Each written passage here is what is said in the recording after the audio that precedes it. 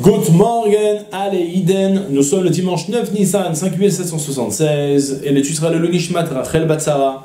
Et le Fouat Rav Sitruk à Rav Yosef Chaim Ben Emma Simcha Betoch Sh'ar Chole Israël.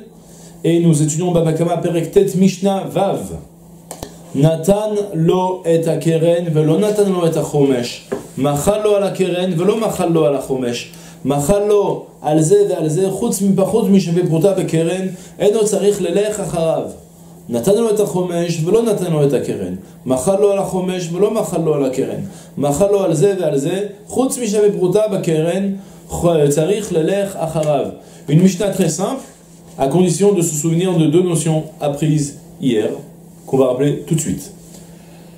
Lorsqu'on vole un objet, la Torah nous impose de rendre la le, vol. D'accord? Ça, c'est de manière générale. Maintenant, lorsqu'on a volé, et qu'en plus de ça, on a juré, on a juré à la personne volée qu'on n'avait pas euh, l'objet volé dans les mains, et il s'avère qu'en réalité, on a menti, alors la Torah impose de d'apporter un korban Hacham Gezelot.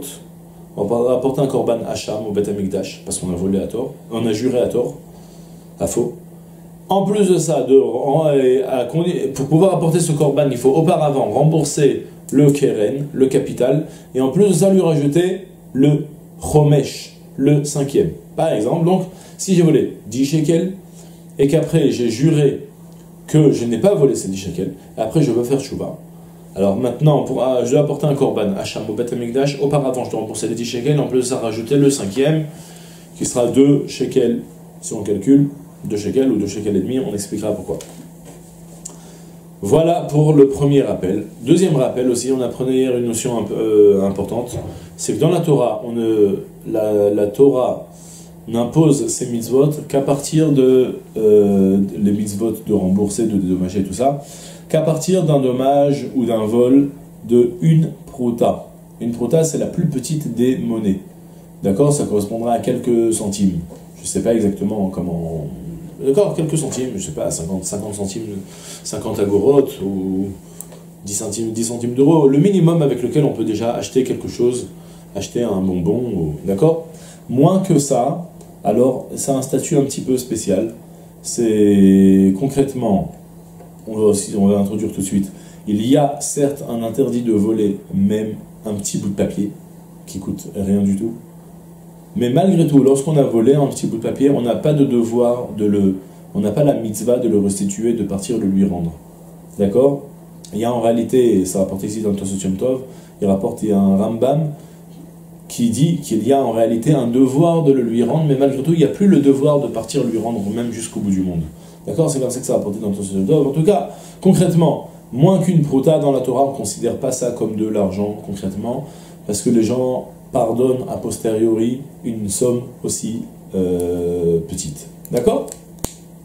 Donc, partant de ce principe, lorsque je vole moins qu'une prota, je n'ai pas de devoir de le rendre, donc j'ai pas de devoir de partir jusqu'au bout du monde pour le lui rendre si j'ai volé, si j'ai juré sur, euh, sur une telle somme. La Mishnah, maintenant, on est capable, on a, on a rappelé toutes les données maintenant pour pouvoir lire la Mishnah et la comprendre, Hashem.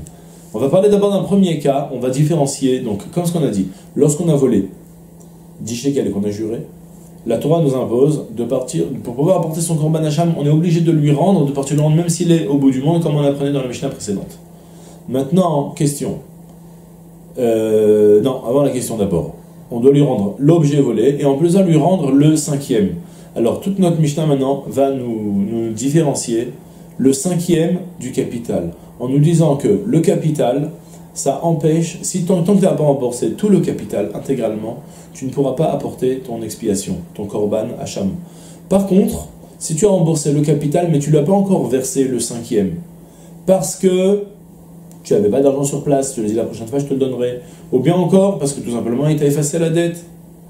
Euh, non, ça on va parler après. D'accord, pour le moment, pas l'argent sur place, tu n'avais pas l'argent sur place par exemple. Alors dans un tel cas, euh, tu, le, fait de ne pas rembourser le chomesh, ce cinquième, n'empêche pas, ne t'empêche pas de pouvoir apporter ton korban. Donc concrètement, si tu as remboursé les 10 shekels uniquement et le cinquième, tu l'as dit, je te le donnerai une prochaine fois, tu peux à présent apporter ton korban. Pourquoi? Parce que c'est que le capital, le keren qui émet kev la kapara. Seul le capital empêche, le remboursement du capital empêche la possibilité d'apporter le, le korban euh, expiatoire. Par contre, dès que tu as remboursé le keren, même si tu n'as pas remboursé le chomesh, le cinquième, tu pourras apporter ton korban. C'est la première phrase de la Mishnah. Nathan lo, je ne sais pas si vous avez remarqué qu'on a lu la Mishnah. La Mishnah elle marche 3 cas et 3 cas. Ouais, comme on a déjà vu plusieurs fois, 3 cas en parallèle. 3 cas où on va te dire ah là ça marche pas, et 3 cas où on va te dire là c'est bon ça marche. Donc Natanlo est à keren, velo Natanlo est à chomesh. S'il a remboursé le keren, donc le capital, et lui a pas remboursé le cinquième, alors la Mishnah va nous dire plus tard, on va d'abord citer les trois cas dans la Mishnah, et puis seulement après on va mettre en facteur le din. Le din sera T'as pas besoin de partir au bout du monde pour le rembourser le cinquième si tu veux apporter ton korban expiatoire, ton korban hacham. Il suffit que tu as payé et tu as remboursé suffisamment pour que tu puisses apporter ton korban et t'attendras que la prochaine fois que ton cher ami du bout du monde revienne en Israël ou que tu le rencontres ou que tu puisses le lui envoyer d'une quelconque manière pour enfin euh, pour, lui rembourser son, son, son mais en tout cas ça t'empêche pas d'apporter le korban. D'accord? Machal lo ala keren velo machal lo ala chomesh. Autre cas de figure. Cette fois-ci, donc, j'ai volé les 10 shekels et j'ai juré sur les 10 shekels et je dois lui rembourser les 10 shekels et en plus de ça, le chomesh. On va dire le chomesh ça fait 2. Le cinquième ça fait 2. Euh, un cinquième de 10 ça fait 2. Donc je dois lui rembourser à la fois les 10 shekels du capital et en plus de ça lui rajouter, lui rajouter 2 shekels supplémentaires. Ce cher volé m'a dit Tu sais quoi?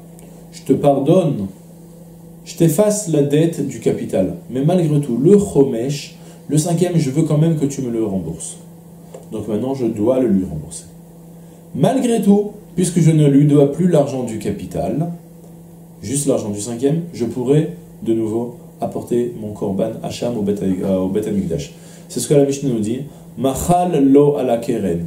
Il a été mochel, mechila. Il lui a effacé la dette du keren, du capital. Mais il ne lui a pas effacé le cinquième. D'accord? Maintenant, autre cas de figure, un cas un peu plus farfelu.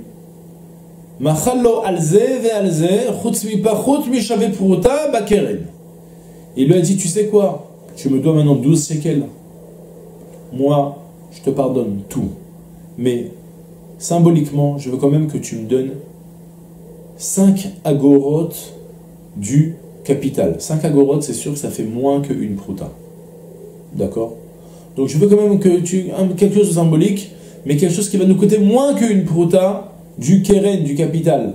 Donc en fait, il lui a effacé toute la dette, sauf un petit chouïa du capital, mais qui vaut moins qu'une prouta. De ce fait, moins qu'une prouta, il n'y a plus de devoir de partir le lui restituer jusqu'au bout du monde. Et donc il n'y a pas besoin de partir le lui rendre au bout du monde. Par contre, les trois autres cas de figure, où cette fois-ci, il faudra continuer à partir le lui rendre au bout du monde, alors c'est les trois cas qui vont aller en parallèle. Donc le premier cas rapporté dans la Mishnah, c'était qu'il doit rembourser le capital et pas le cinquième. Donc la Mishnah va nous, nous dire maintenant, par contre, s'il lui a remboursé le cinquième, ça il le dit déjà, prends déjà les deux shekels du, du du cinquième. Et le capital, je te le donnerai la semaine prochaine ou dans deux semaines quand j'aurai, quand je te rencontrerai parce que j'ai pas d'argent sur moi. Donc pour le moment, il a remboursé le cinquième, il lui a pas remboursé le keren, le capital. De même, le volé lui a dit, tu sais quoi? C'est pas la peine de me rembourser le cinquième, je te le pardonne, je te l'efface cette dette. Mais quand même, le capital, je veux quand même que tu me le rendes. Ce que tu m'as volé, tu dois me le rendre. Ou encore, un autre cas de figure. Un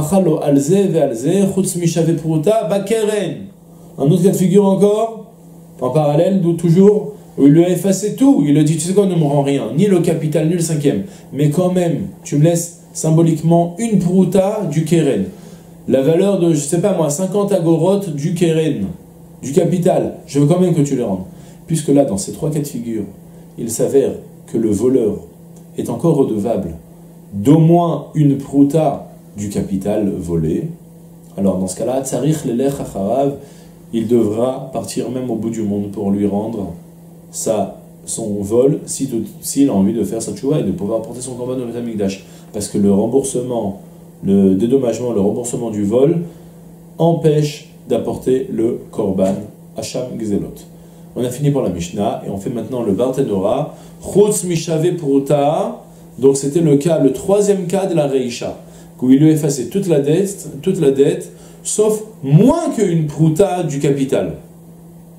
Il y a quand même une certaine, un certain ridouche. On va illustrer ça avec un, cas où, par exemple, euh, je sais pas moi, il lui a volé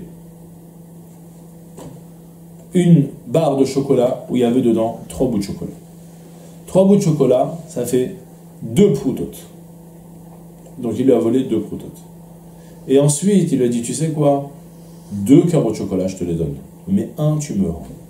Donc on a dit, il s'avère que maintenant, le carreau de chocolat ne va valoir que deux tiers d'une prouta. Donc pour le moment, je n'ai pas de devoir de partir le lui rendre au bout du monde, puisque ça coûte moins qu'une prouta. Ça coûte que deux tiers d'une prouta. Malgré tout, vous allez me dire, ouais, mais peut-être que la semaine prochaine, il va peut-être y avoir une augmentation à l'approche de Pessah, là maintenant, une augmentation du prix du chocolat, et ce petit carreau de chocolat qui coûtait deux tiers de prota, il va finalement euh, avoir une valeur de une prota. Peut-être que tu devrais quand même aller le lui rendre, de peur que le prix va augmenter. Alors là, la, c'est tiré de l'agmara, le partenaire nous dit, malgré tout,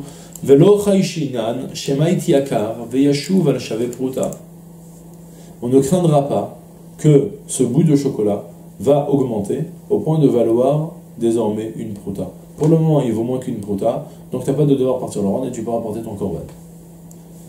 On, sous-entend donc que si toutefois ça a augmenté au point de valoir, euh, au, point, d'accord, au point d'avoir une valeur de une prouta, alors qu'effectivement il faudra ensuite le lui rendre. C'est comme ça qu'on, c'est la, la du partenariat. Donc, on ne craindra pas que le prix va augmenter au point de valoir ensuite une pruta.